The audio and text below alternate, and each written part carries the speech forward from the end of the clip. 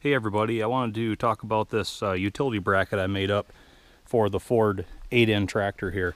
Um, I'll get into the design of it here in a minute, but to uh, tell the whole story, it started with these heavy duty pallet forks. We got these at an auction, gosh, I bet 20 years ago with some other stuff we were bidding on.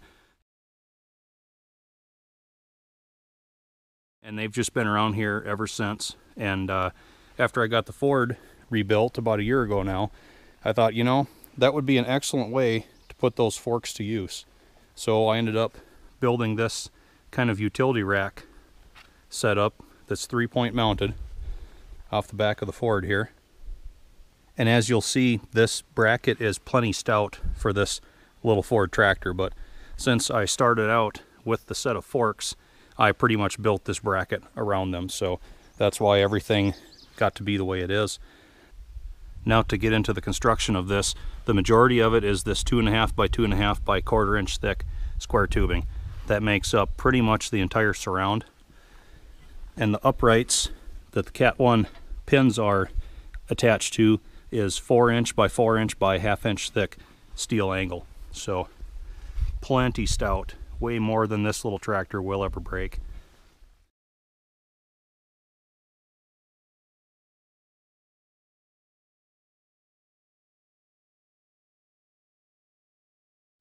Anything else I used is pretty much just quarter inch thick angle iron of varying dimensions.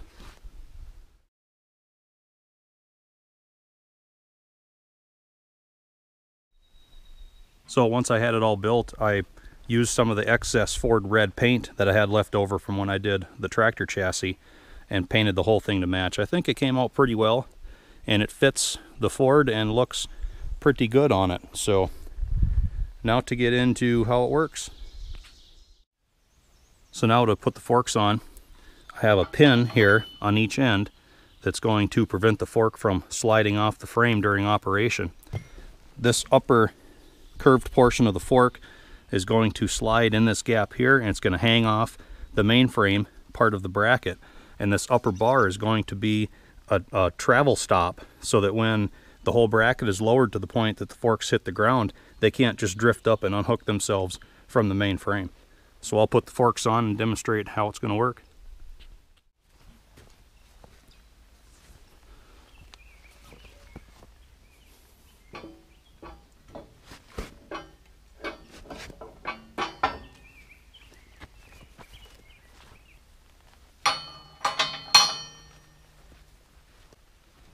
The only downside to these is that they are a little bit heavy and can be a little bit cumbersome to uh, manipulate.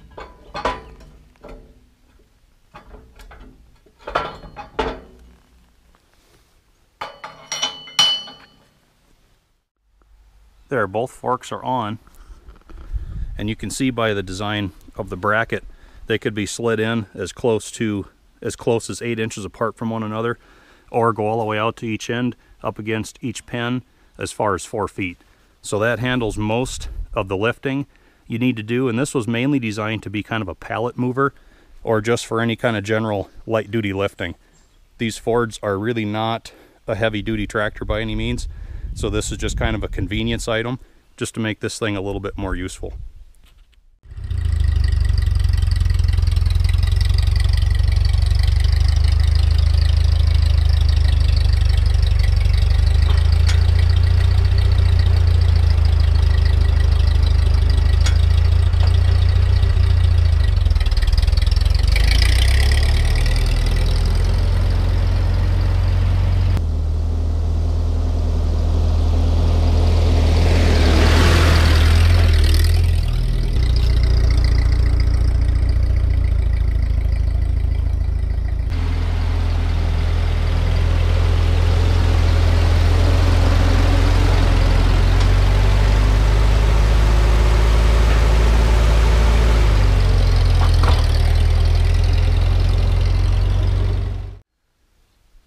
So that's how the pallet forks work on the back of the little Ford here. They are kind of handy for moving around smaller, lighter loads. If I had to do any high lifting or do any heavier things like that, I've got the bigger tractor with the front end loader. Um, another thing I want to talk about, when I was building this, I decided I wanted to add a receptacle for receiver hitch drawbars so that I could uh, put a ball hitch on this thing rather easily and move trailers around. And it's something else that only really works with light duty loads, um, just kind of moving empty trailers, smaller two-wheel jobs, stuff like that. So I'll go ahead, I'll get the pallet forks pulled back off this thing and I'll demonstrate how that works too.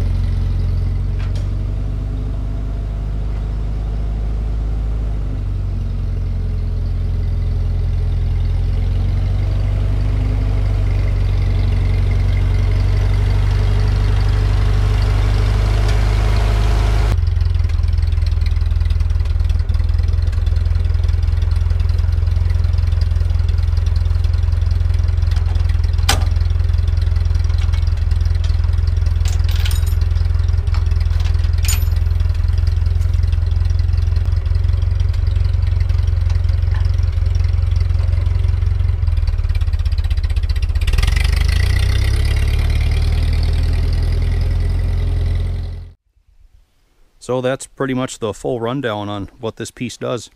It's extra handy. I've been pretty happy with it. And when I made it, I put plenty of different adjustment holes in it so that it could be put on maybe a larger tractor that could have a little bit different three-point geometry than what this little Ford has.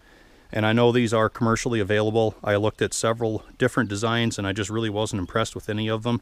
They all seemed rather light duty and I just wanted to custom build something that would suit the needs that I had for it and would do everything that I wanted it to do. So, guys, as always, I thank you for watching. Like and subscribe. Hope to see you back next time.